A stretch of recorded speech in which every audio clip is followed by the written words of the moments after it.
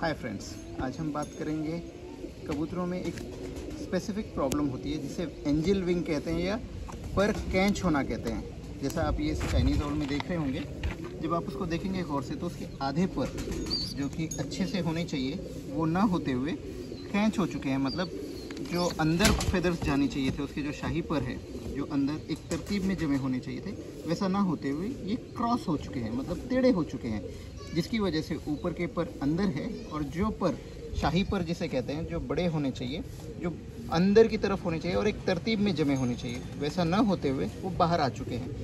इसे angel wing कहते हैं इंग्लिश में और इसे हिंदी में इसको पर कैंच होना कहते हैं मतलब जैसा कैंची होती है सीज़र जब वो दो उसके टुकड़े हो जाते हैं और उसके बीच में गैप आता है सेम उसी तरह से यहाँ पर आपको वो कबूतर के विंग्स के अंदर या पंख के अंदर वो गैप दिखाई देगा। और यहाँ पर आप गौर से अगर देखेंगे तो आपको ये पता चलेगा कि यहाँ पर के इसके जो परा हैं, जो शाही फेदर है, वो स्ट्रेट हो चुके हैं। वो मतलब उनमें वो नरमाहट नहीं रही, जो अंदर की तरफ़ होनी चाहिए। एकदम सीधे निकल के आ चुके हैं ये परों के अंदर, कोई तरतीब भी नहीं बची है। और ऐसा आपने कई बार देखा होगा। अब ये अडल्ट बर्ड हो चुका है। इसके वजह से इसके अंदर तो कुछ नहीं कर सकते लेकिन आज हम इस वीडियो के आ, के ज़रिए से जानने की कोशिश करेंगे कि ये एंजल विंग होता किस लिए है इसका ट्रीटमेंट कैसे करना है और क्या कर सकते हैं हम इसको प्रिवेंट करने के लिए। अब आप इस आप इस साइड घुमा दीजिए थोड़ा सा। हाँ राइट अब शायद दर्शकों को और व्यूअर्स को ये दिखाई दे रहा होगा कि एक बच्चे के यहाँ पर इस इस एज में एंजल विंग होना स्टार्ट हो चुके हैं। अगर आप गौर से देखेंगे तो वो पर ये वाला जो पर है, ये बाहर आ चुका है। मतलब ये जब ऐसे क्रॉस होना है पैरा कैंच होना कहते हैं, ये ये जो बीमारी है, ये कोई ऐसी कंडीशन नहीं है कि ये डायरेक्टली अडल्ट बर्ड्स में होती है, ये बच्चों में पहले होती है और वो पूरी तरह से जब अडल्ट बन जाते हैं, तब वो उस चाइनीज़ ओल की तरह दिखाई देना शुरू कर देते हैं। ये स्टार्ट है कंडीशन यहाँ पर से आपको जैसे ही किसी फैंसियर्स को पता चल जाए कि भाई उसके पास का जो कबूतर का बच्चा है, जो स्क्वैब है वो एंजल विंग में जा रहा है तो उसको यहीं पर उसको स्टॉप करना चाहिए। चलिए, आप जानते हैं कि ये किन वजूहत से, किस रीज़न की वजह से एंजल विंग होते हैं और इसका ट्रीटमेंट क्या करना चाहिए, ये हम जानने की कोशिश करेंगे आज के वीडियो में।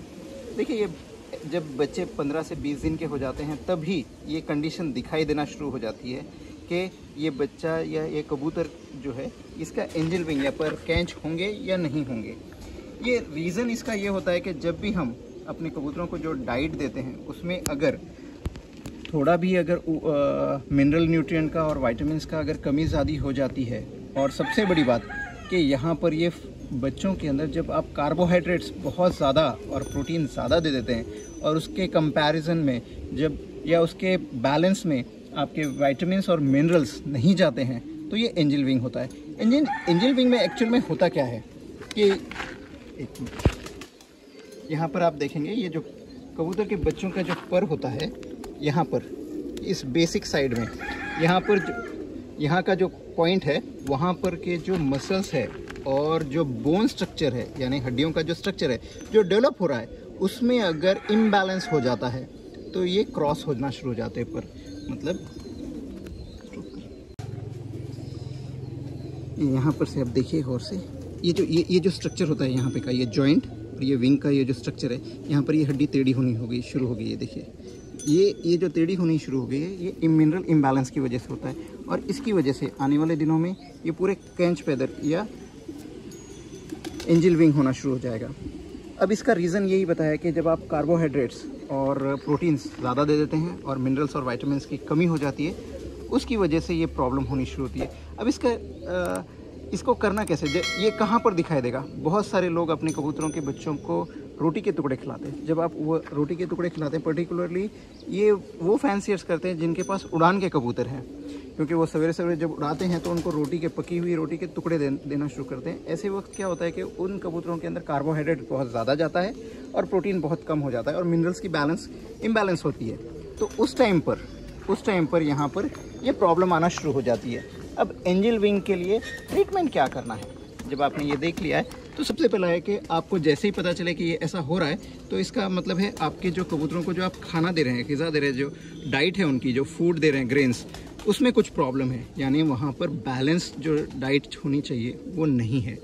सेकेंड थिंग उसको करेक्शन करना बहुत ज़रूरी है। इसके साथ साथ तो अब उसको करेक्शन कैसे करेंगे? क्योंकि आप जो गेहूँ, जवार और चना, मूंग, मटकी वगैरह देते हैं, वो तो आप उसको दे ही रहे हैं। लेकिन इसके अंदर जो मिनरल्स की जो कमी हो चुकी है, उसको पूरा करने के लिए तो इसका मिनरल बैलेंस होना बहुत ज़रूरी है। वाइटामिन और मिनरल्स का बैलेंस होना बहुत ज़रूरी है। इसके लिए आपको इन्हें ग्रिड देना बहुत ज़रूरी है। अगर आप जब भी कभी अपने बर्ड्स को ग्रिट्स नहीं ग्रिट नहीं प्रोवाइड करेंगे तो ऐसे में ऐसी कंडीशन का आम होना कॉमन है। जब आपके पास क्या डाइट में इम्बैलेंस होता है तो उस वजह से ये हो जाता है। अब इसको अच्छे से मैनेज करने के लिए क्या करना चाहिए कि यही जब, जैसे ही पता चले कि हमें, कि हमारे कबूतरों की डाइट की वजह से ये एंजल विंग या पर कैंच होना शुरू हो रहे हैं तो आपने सबसे पहले डाइट को चेक करना चाहिए। उसमें कार्बोहाइड्रेट्स और प्रोटीन बहुत ज़्यादा हो रहे हैं। शायद उसको आपको उसको बैलेंस करने की ज़रूरत है। साथ ही साथ मिनरल्स और वाइटामिन प्रोवाइड करना बहुत ज़रूरी है।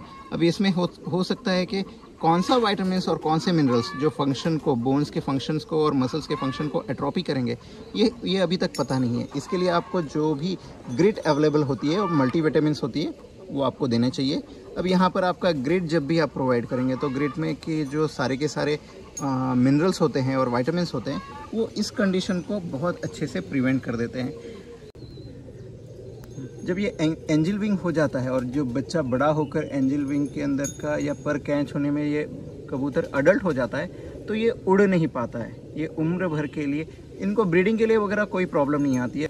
लेकिन ये कबूतर उड़ नहीं सकता। ये उड़ान के कबूतर में होता है तो ये उनके लिए रेसिंग होमर्स या हाई फ्लायर्स के अंदर उड़ान के कबूतरों के अंदर अगर होता है तो ये उनके लिए बेकार कबूतर हो गया। लेकिन ये ब्रीडिंग के लिए कोई प्रॉब्लम नहीं है। आप इनको अच्छे से ब्रीड कर सकते हैं। ये अच्छे ब्रीडर भी पेयर साबित होते हैं। सिर्फ़ इतना ही है कि इनके जो उड़, उड़ने की जो कैपेसिटी होती है वो बहुत कम होती है। अगर आप इनको लॉफ्ट में भी रखते हैं तो ये नीचे के नेस्ट बॉक्स में ही ये ब्रीड कर पाएँगे। बेटर यही होगा कि इन्हें ऐसे कबूतरों को अगर आप ब्रीड करना चाह रहे हैं तो आप इन्हें केज में रख कर ब्रीड करें। इनके ट्रीटमेंट में, बचपन में ही ट्रीटमेंट करना पड़ेगा। बड़े, जब अडल्ट कबूतर हो जाएगा, ऐसे टाइम पर हम इनका कोई ट्रीटमेंट नहीं कर सकते हैं। ये उम्र, ताउम्र के लिए या उम्र भर के लिए ऐसा ही हो चुका है। लेकिन जब कभी कबूतर के बच्चों की एज इतनी होती है और आपको समझ में आ रहा है कि ये अभी इनके एंजल विंग होंगे और या पर कैंच होना शुरू हो गए होंगे, इस इमीजिएटली सिर्फ़ दो ही काम करने हैं हमें। एक तो इनकी डाइट चेंज करनी है। ग्रेट भरपूर मात्रा में इनके पेरेंट्स को फ़ीड कराना है। डेली के टाइम पर देना है और मल्टीवाइटामिन देना शुरू कर देना चाहिए। और अक्सर ऐसा देखा जाता है कि जैसे ही डाइट चेंज होती है और थिंग्स चेंज हो जाते हैं, ग्रिड देना शुरू करते हैं तो ये कबूतर के बच्चे जो एंजल विंग में कन्वर्ट हो रहे थे, वो अपने आप ही ठीक हो जाते हैं। उन्हें ज़्यादा कुछ करने की ज़रूरत नहीं पड़ती है। लेकिन अगर ऐसा लगता है कि शायद हो सकता है कि ये पूरी तरह से क्रॉस विंग या एंजल विंग हो जाए, उस टाइम पर आपको दूसरा एक काम करना होता है, जो आपके पास टिक्सो टेप या पेपर टेप जो अवेलेबल रहेगा जो कि आपको मार्केट में आसानी से मिल जाते हैं ये टिक्सो टेप या पेपर टेप ये लेना है आपको। और इस बच्चे को जिस तरह से हमने इसका भी एंजल विंग हुआ था और ख़ासतौर से इस वीडियो के लिए हमने इन, इनके पेरेंट्स को जो फ़ीड करा रहे थे उनका ग्रेड देना बंद कर करवा दिया था हमने।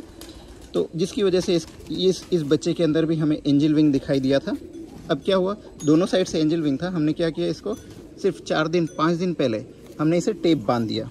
चाहे आप इसको टिक्सो टेप या जो इंसुलेशन टेप जो आता है तो इंसुलेटिंग टेप आप उसको यूज़ कर लें।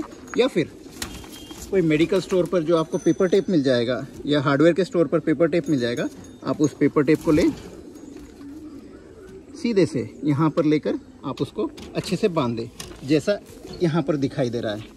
जब आप इसको बाँध कर ऐसे चार से पाँच दिन रख देंगे, वो विंग पूरी तरह से स्ट्रेट हो जाएगा और उसके अंदर की जो कैपेसिटी थी, जो टेढ़ा हो रहा था, वो होना बंद हो जाएगा। तो जैसे कि आप देख रहे हैं कि इनको चार चार दिन पहले मैंने एंजल विंग की वजह से ही इसके विंग्स को बाँध दिया था, दोनों साइड की ओर से। लेकिन अभी भी ऐसे लगता है कि जैसे अच्छी तरह से 80-90 परसेंट तो रिकवर हो चुका है, लेकिन फिर भी फिर भी इसे थोड़ा सा बांधने की ज़रूरत है। मैं आपको आज बता दूँगा कि इनको बांधना कैसे है, ताकि आप,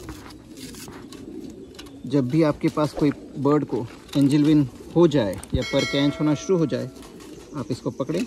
ये सारे फेदर्स को, क्योंकि ये आगे पीछे होते हैं तो इनको पहले अच्छी तरह से तरतीब में अरेंज कर दें, अच्छे से, ताकि ये, क्योंकि ये पर ऐसे जा रहे थे इसके क्रॉस में, इसको हमने ऐसे करके चार दिन पहले ही बाँध चुके हैं, जैसे कि आपको दिख रहा होगा यहाँ पर।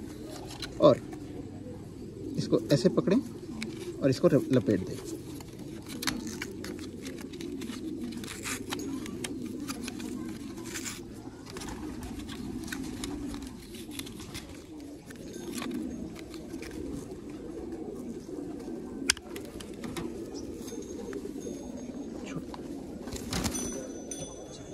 अब इस तरह से ये बाँध कर रखें इसको चार पाँच दिन और उसके बाद इसको खोल दें। जब आप इसको खोल देंगे तब इसके विंग्स पूरी तरह से सीधे हो चुके होंगे। पर याद रहे साथ ही साथ सिर्फ़ बांधने से ही नहीं चलेगा साथ ही साथ इन्हें ग्रिड देना मत भूलें। जैसा जैसा आप इनको ग्रिड प्रोवाइड करेंगे ये वैसे अपने आप ही ठीक होना शुरू हो जाएँगे। हम्म, तो फ्रेंड्स मैं उम्मीद करता हूँ कि आज के इस वीडियो में भी आपको काफ़ी इन्फॉर्मेशन मिली होगी कि एंजल विंग किस वजह से होते हैं और उसको दुरुस्त कैसे किया जा सकता है, उसका ट्रीटमेंट क्या है। अगर आपको ये इन्फॉर्मेशन अच्छी लगी और वीडियो पसंद आया तो इसको लाइक करना ना भूलें और अपने फ्रेंड्स के साथ इसे व्हाट्सअप फेसबुक पर शेयर ज़रूर करें और साथ ही साथ इस चैनल को सब्सक्राइब करें। Thank you